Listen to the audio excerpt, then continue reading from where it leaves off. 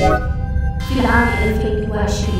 انتشر فيروس في العالم وقتل 90% من البشر تم صنع لقاح في رقاقة لوضعها داخل جسد الإنسان الغرض الرئيسي من الفيروس هو